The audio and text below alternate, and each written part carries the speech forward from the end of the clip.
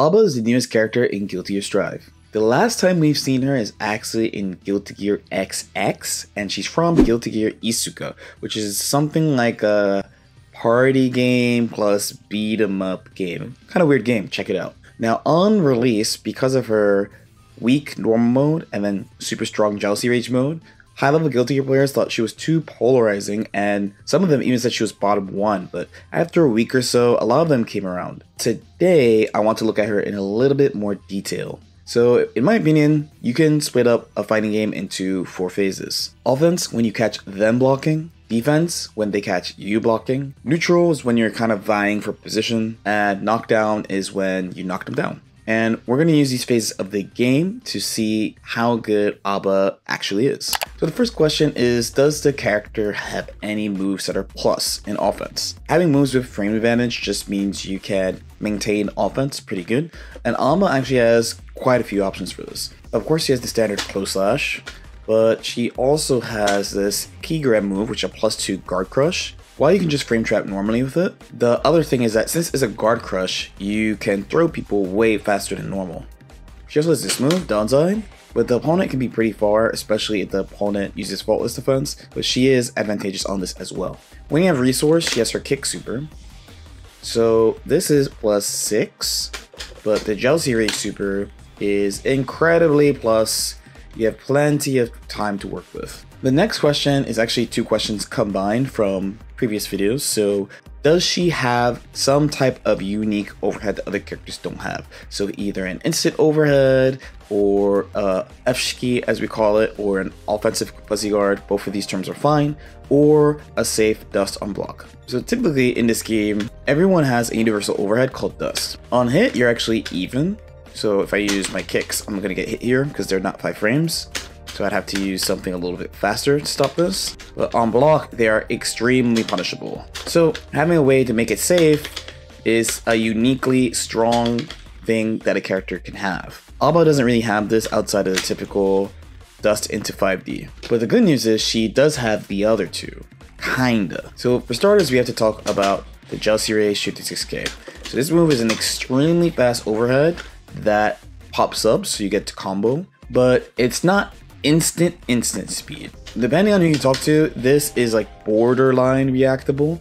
I've basically called it instant overhead because I just think it's really really hard to react to, but you know, that's that's like a personal thing on how you deal with this. But it's harder to deal with depending on how you set it up and how much time you give your opponent to assess the situation. But on top of that as well, she does have the offensive fuzzy guard. So this is a concept of having a frame advantage on a jump in that the opponent, if they switch their guard to low, will be hit standing and you can continue to combo. She has a lot of ways of doing this. So she does have a lot of unique ways of doing mix-ups. Next question is how quickly does the character build meter? Building meter and being really active is important in this game. You gain meter for all sorts of actions including approaching opponent, attacking, and blocking, and more. She actually kind of gains a lot of meter from moving forward, even though she doesn't move very quickly. And her combos actually build a ton of meter because her key grab builds a ton of meter. So she's a character that doesn't build meter from like doing stuff in neutral so much, but from like actually hitting you. So this is actually one of the main benefits for doing double key grab combos of her because it just builds a ton of meter. Another thing you can think about is that since she has a lot of HP, I believe she actually has top 5 HP in the game, there are cases where you can get hit over and over and over and just get meter that way. So excuse the silly example, but here we're gonna have Happy Chaos just kind of beating up on our girl, right? So breaking the wall of Wild Assault, and then he's gonna pull up. I'm gonna get hit again just for funsies. I'm gonna get hit again just for funsies. Break the wall super, and here he comes. So these combos are by all means not like the best combos of all time, but there are certainly cases of I basically did nothing but get hit.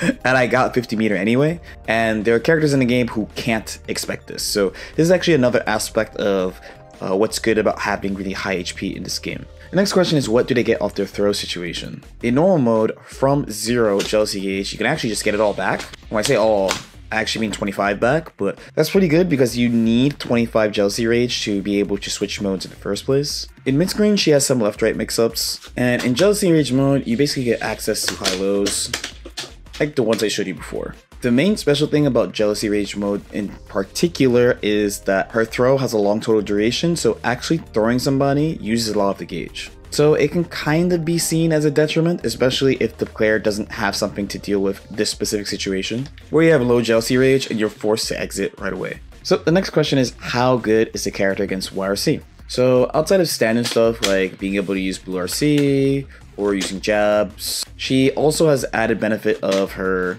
2K being YRC safe. On top of that, she has a lot of guard crush moves. So guard crush moves you just can't YRC in general. So I would say she's actually slightly above average against YRC because she just has a lot of guard crush moves that are plus to use, plus an additional kick that she also uses for mix-ups.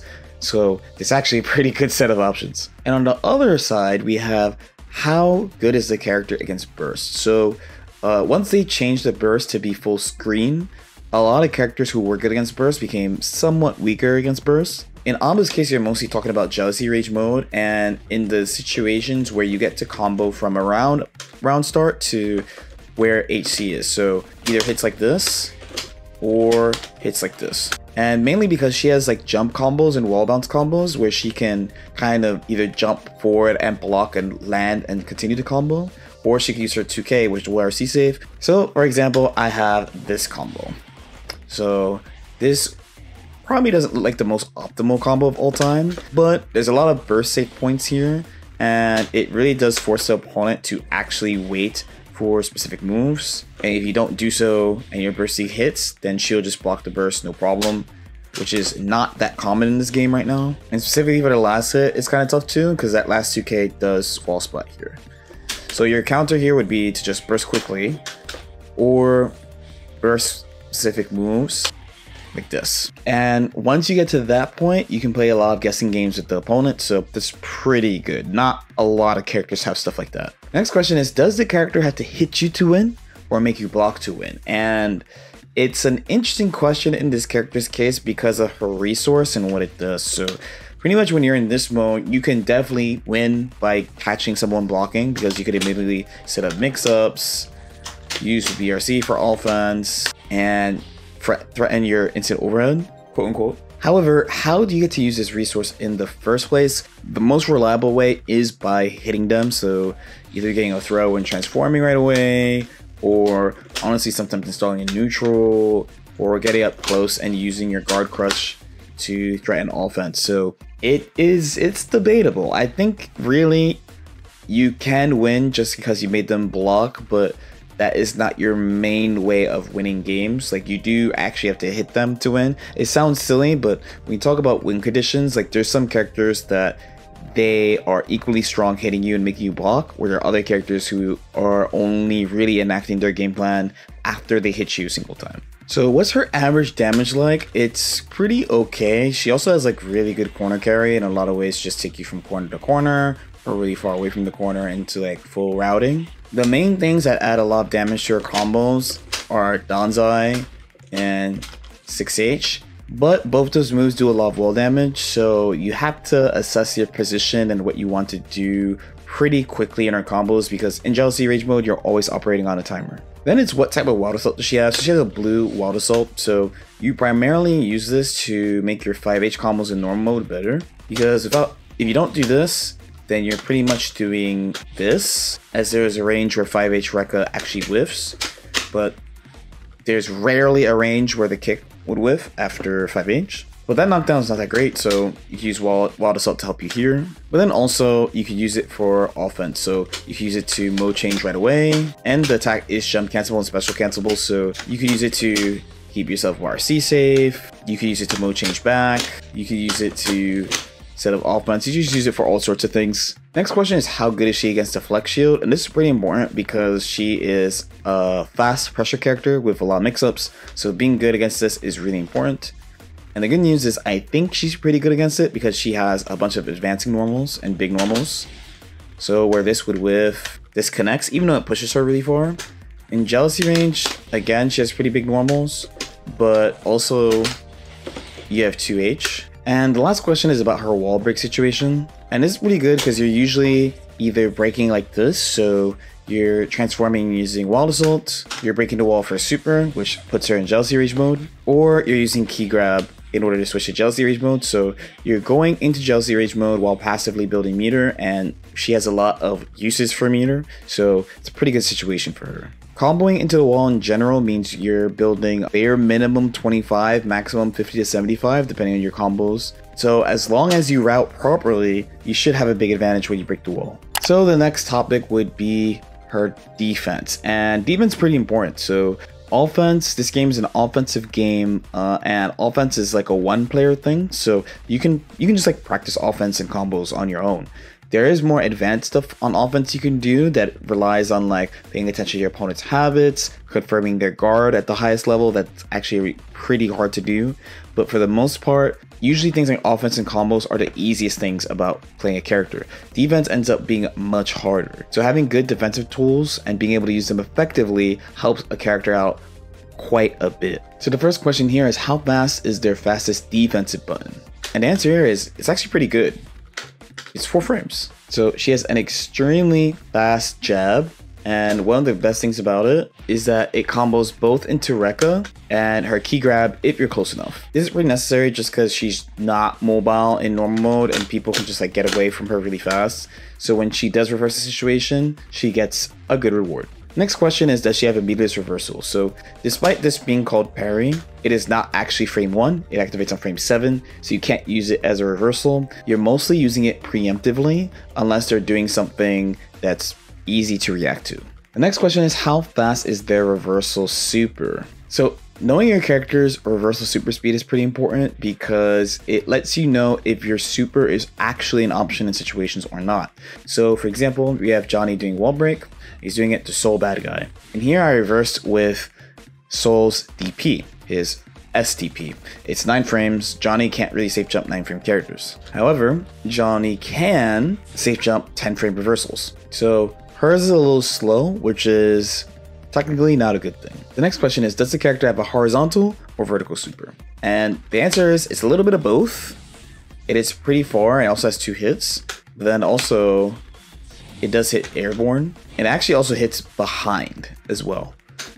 As a side note, if you hit with it from behind, she doesn't transform right away, which is kind of funny. The next question is how good is their backdash? And Aba is kind of unique in that she has two different backdashes. She has her normal mode backdash and her Moroha backdash. So her normal backdash is 6 frames invincible, 24 frames total, which is pretty normal for a big body character actually. There are some small differences, like Goldlewis having a faster backdash than other big body characters. But as far as a big body, she's pretty standard in this way. But in Moroha mode, they actually gave her a 16 frame total backdash with the same invincibility.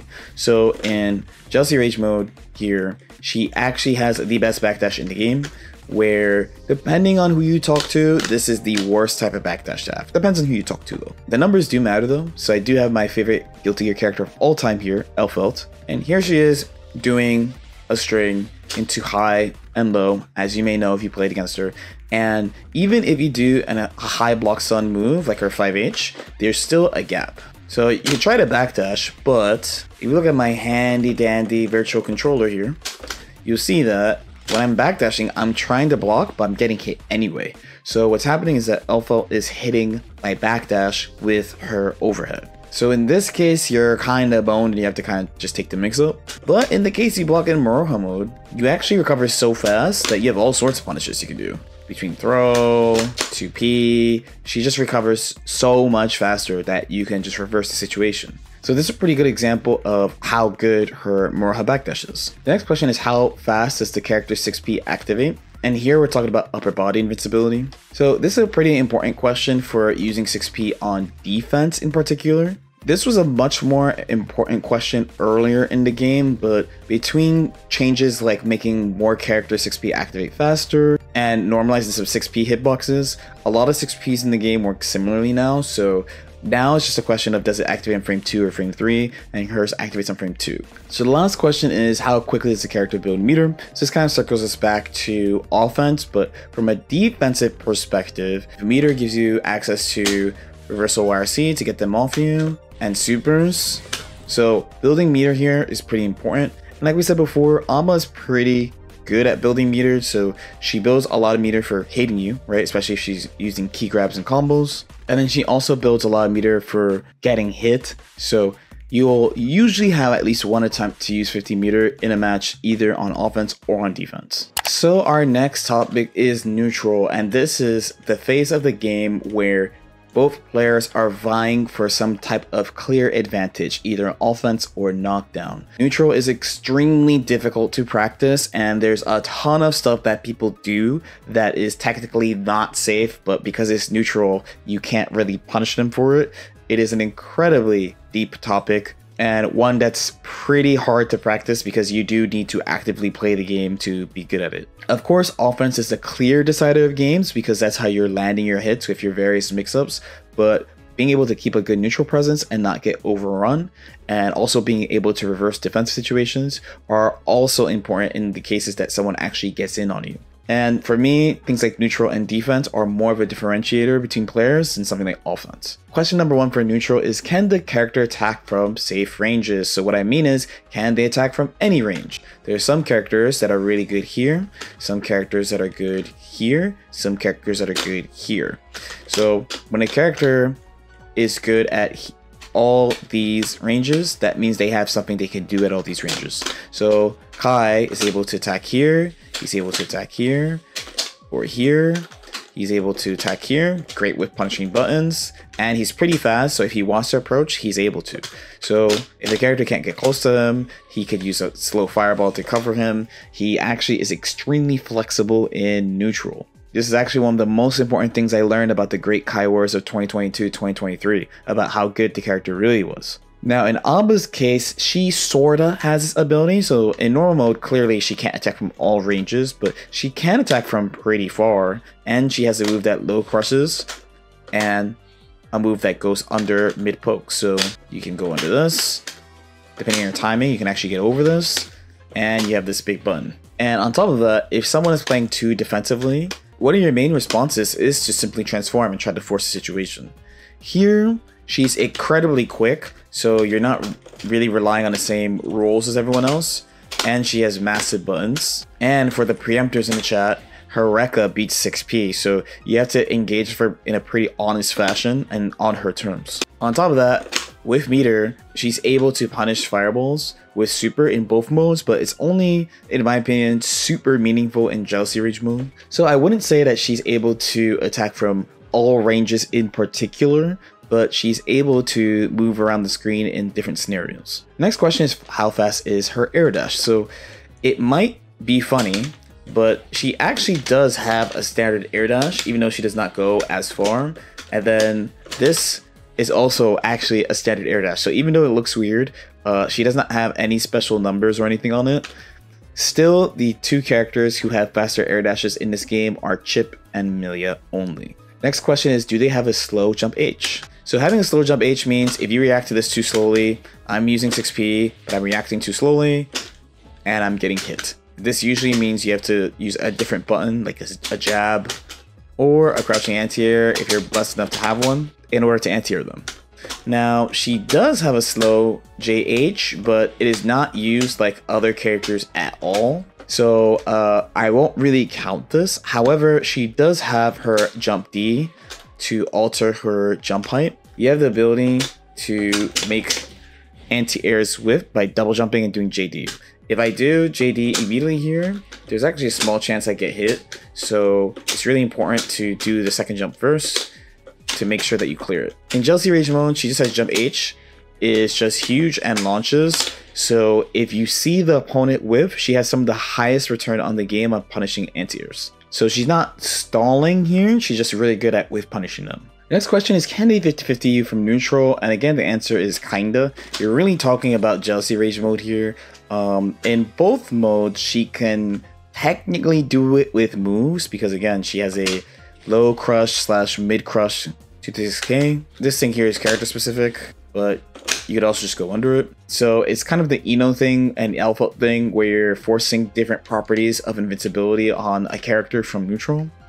But in Jealousy Rage mode, you do have the threat of canceling to overhead at any time. So as long as you use a normal that's also cancelable into 2H or 2D, then you have threat of high-low plus throw. So it kind of depends on who you talk to. Pretty much in Jealousy Rage mode, I would say yes. The next question is, can the character approach immediately or do something immediately meaningful after Gold Burst? And the answer pretty much here is yes. In normal mode, the obvious answer would be to just switch. But if you're in Jealousy Rage already, you can literally just get over there and do whatever. So I would say her Gold Burst situation is actually pretty good and meaningful. The next question is something from Exert actually, and that's does the character have a fuck it RC option? So this one's pretty straightforward. It's you have meter and you're like, I don't know what to do, so fuck it. And the answer to this is also kinda. So in normal mode, I probably would not be using meter on this. There's tricks like this that you might have seen before, but uh, it's not like super great. In Jealousy Rage, however, uh, you don't technically even need to use the meter. You can just pull up with Rekka, it's incredibly powerful. Just when you have 50, you can just dump the meter on super and approach when you want. So it's less fuck it RC and Instead, it's like, fuck it, I'm gonna super. Next question again is how fast is their 6P, which is two frames, which means when you do preempt, then it works out pretty well, especially with the hurt blocks. She uniquely also has crouching anti-air, so there are situations where you just be sitting and you have more time to react when they approach you, especially when they're trying to go above you. So that is really good as well. Next question is, does the character have any like specific tool or something about them that makes people play the game differently against them? The answer is a resounding yes. This character's design makes people do this. So people play pretty defensively against her because she's not mobile in normal mode. And when she mode changes, people either again try to run away to the best of their ability or they understand that they kind of have to like send it or get hit and try to burst. People have to use a lot of different strategies against this character that they're not comfortable with because there's at this point a general way people play every character and a general way people tend to play against certain types of characters and there hasn't really been a character like Aba that heavily encourages really defensive play.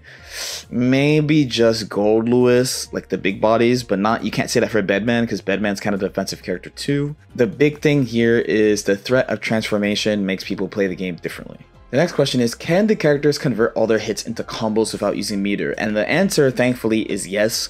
It does make a lot of sense too because she's not very mobile. At this point in the game, there's only a couple of characters that have like really inconsistent conversions or things that they just can't convert on purpose. So you're looking at characters like Zato with jabs and like Baiken with far slash and 2S and things like that. At this point, they either have made things easier to combo, like for example, on launch, this 5H would not connect, and if I was closer to the corner, he would actually get a full combo on that. Uh, it's a meaningful change they made to Sol to help him chase backdash. So they either gave characters things like that, to make things more consistent, or they just have Red Wild Assault to help them. Like I mentioned at the beginning of defense, actually, she's quite good at converting light hits because her Rekka is really fast. So even with her really huge kicks, even your opponent advances into a move, you should be able to get a knockdown in normal mode of some type. And she's really consistent at comboing in Jealousy Rage. And this makes sense because Jealousy Rage is on a timer and she can't recover it passively. She has to recover it actively by hitting you or absorbing moves. So her being able to consistently convert in Jealousy Rage mode makes sense. And the last question is can the character dash block? So outside of big body things like Potemkin not being able to do it and Nago not being able to do it, and those two are because they, they can't dash in general. Nago has to use a special move to do it. The big one comes from Johnny because his dash actually traverses a pretty large portion of the screen, but he cannot dash during it at all. So what she has uniquely actually is, if you dash and hold block with her, she just keeps advancing, and the moment someone swings into her, she's just gonna block automatically. So that's pretty unique to her. Then in Jealousy Rage mode, she's just really fast and she could do it as normal. So the last question is knockdown. So knockdown is a situation you have a ton of control over. It's one that generally characters have the most control over,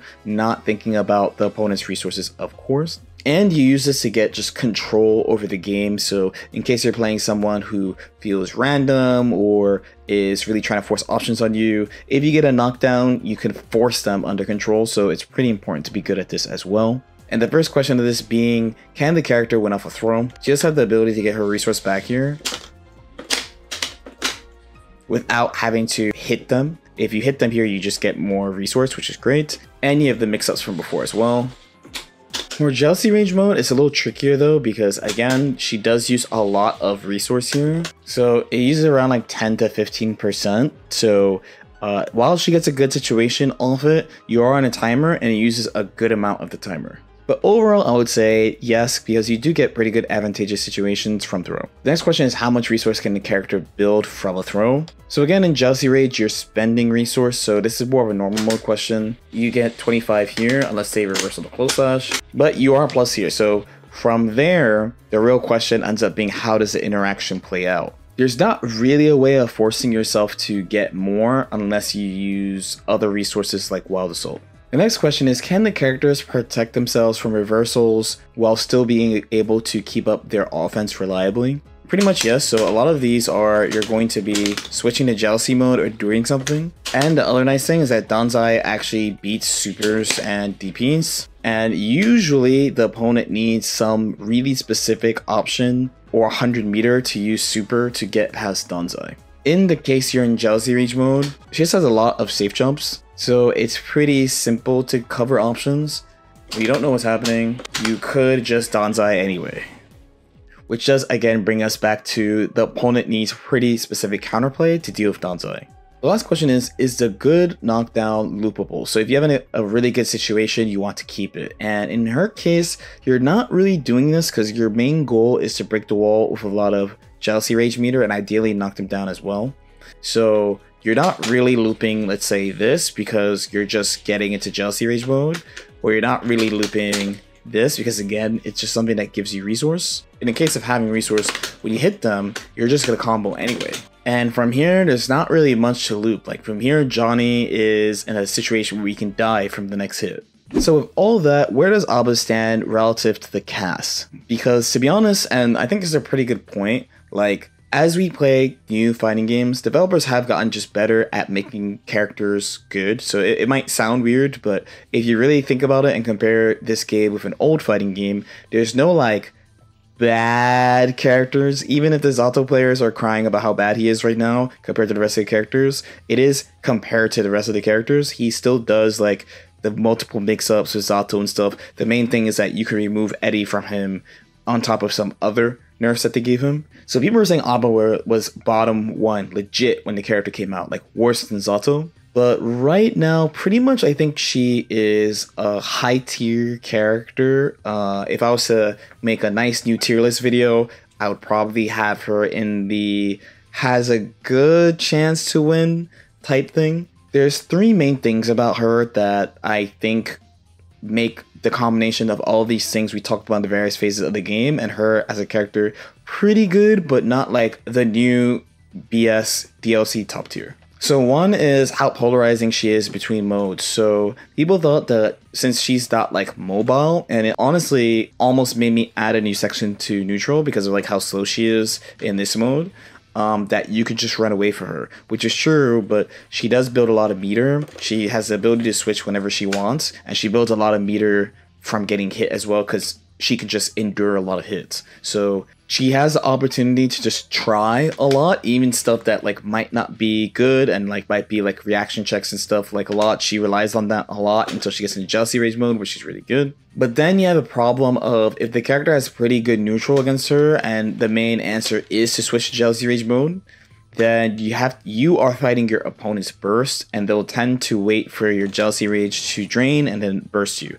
And after that it becomes very very difficult to approach again. And there's some characters that are both considered really good at, at this game. So characters like Nago for example who are good at this and characters who are considered not as great but are still good at this. So like Axl. So managing her resource is really key and she can't do it passively. She has to either hit things or absorb things to get the resource. That being said, once she gets started, she's an incredibly, incredibly powerful character, and she takes a lot of discipline to actually fight correctly. And finally, there's a lot of characters that are good, but they have to approach you to win, and she's especially good at that because the whole point of normal mode is that she's not mobile. So it makes life a lot easier when your opponent is coming at you and you try to reverse the situation.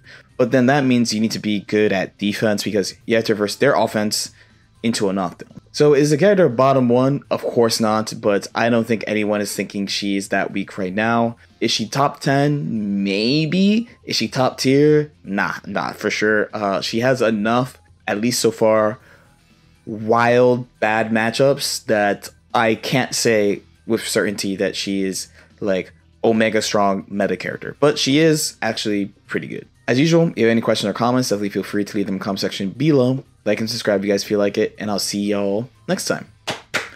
Peace out.